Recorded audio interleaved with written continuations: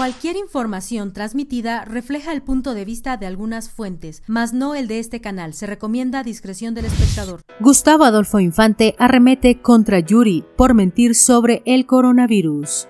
La famosa cantante mexicana Yuri recientemente reveló que el año pasado tuvo coronavirus. Además, aseguró que el virus le dejó fuertes secuelas, entre estas la caída del cabello y episodios de severa ansiedad.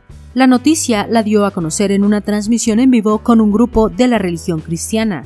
Sin embargo, fue Gustavo Adolfo Infante quien arremetió en contra de la cantante, pues fue uno de los primeros en dar a conocer la noticia en ese tiempo. Sin embargo, Yuri desmintió con fuertes declaraciones. Por ello, el conductor de primera mano pidió que no le mintiera al público, pues de eso vive.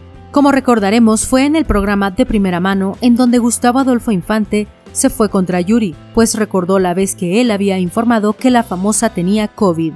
Sin embargo, ella lo desmintió, incluso le recomendó que revisara a sus informantes.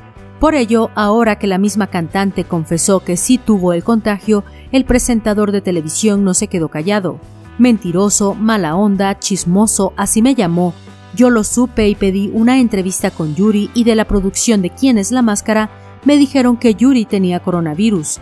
Yuri no quería que se supiera y a pesar de esta respuesta chistosa, Yuri me da la razón a través de una transmisión en vivo para su iglesia, comentó Gustavo Adolfo Infante.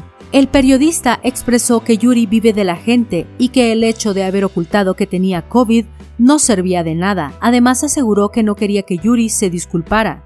Por mí que no se disculpe, no quiero las disculpas de Yuri, cosa que no me interesa.